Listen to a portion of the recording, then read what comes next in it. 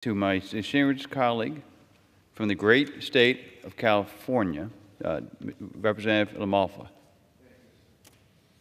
Thank my colleague from New Jersey for leading us here tonight and uh, the opportunity to speak on uh, several good topics here. So, um, well, tonight, uh, indeed, we passed a very important tax-related legislation that will be uh, uh, instructive in so many aspects of our society with uh, investment, uh, job opportunities. Indeed, I think the tax bill we just passed probably was responsible for over 600,000 new jobs in the re research and development uh, tax credits, as well as uh, for small businesses that uh, are going to have the accelerated depreciation that is important to them for, uh, again, small business, farms, you know, for investing in equipment. But one, of the, one, I, one of the things I wanted to dwell on here a little bit was that the importance of the disaster relief aspect that's in this bill that uh, also my colleague Mr. Steube from Florida was working very strongly on, and my colleague from uh, the wine country in Northern California, Mr. Mike Thompson, uh, helped us with, is that uh, we've had a situation where fire survivors, fire victims of so much uh, uh, destructive wildfire in Northern California and other parts of the West, um, in this situation here, their taxation on the settlement money they had with the utility uh, was deemed by IRS to be a taxable event. And so even though they're victims of fire, they've lost their homes and much destruction of their property, uh, the, the dollars that were coming for restitution from a lawsuit were deemed taxable by the IRS.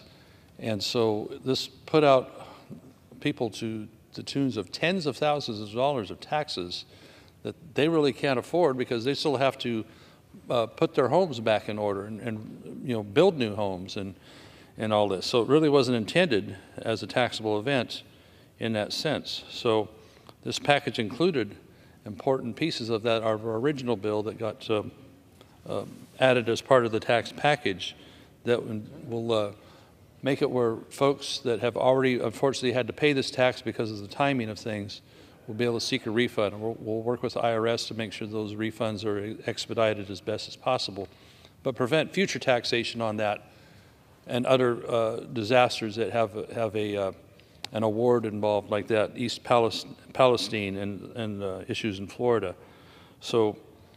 Uh, it's, uh, it's indeed a big success on that, as well as the other aspects of this tax legislation tonight that were uh, going to be helpful for boosting our economy, boosting small business and large business with investment and bringing over 600,000 jobs back uh, uh, to their country in a time that we really, really need that investment. We need that boost. So I'm uh, indeed very glad that uh, we were able to accomplish that here tonight and look forward to the Senate taking it up and the President signing that legislation expeditiously. What's important about this nuance is that um, it be done before the upcoming tax season, April 15th. Some have to file March 1st, depending, and that uh, they don't get caught in that again, having to pay a tax prospectively for something they really aren't going to owe. So we need to get the language in place, the rules in place on that after the successful passage in the Senate and by the President's signature. So um, indeed, it was a great bipartisan effort, one maybe you don't always see that often around here. We need to see more of, and working both sides on that. And uh, and having that big success. So for the folks that were the survivors of the Camp Fire, the Zogg Fire, the Carr Fire in Northern California, and others that are going to be affected, your patience has been rewarded. I thank you for your patience and for working with our office and giving us the chance to get it over the goal line. And, uh, you know, I, I, would have liked to see it happen much faster as well, but, you know, things have been a little tough around here. And uh, indeed, now we were able to uh, have success with this tonight. So couple more steps, but I really strongly believe we're going to get there. And so uh, this is going to be great for those uh, not only disaster victims, but all Americans and the boost it's going to be for economy with the broad tax package. So very pleased to see it happen. With that, I yield back to my colleague, and thank you for the time. Thank you. Um, Mr. Speaker,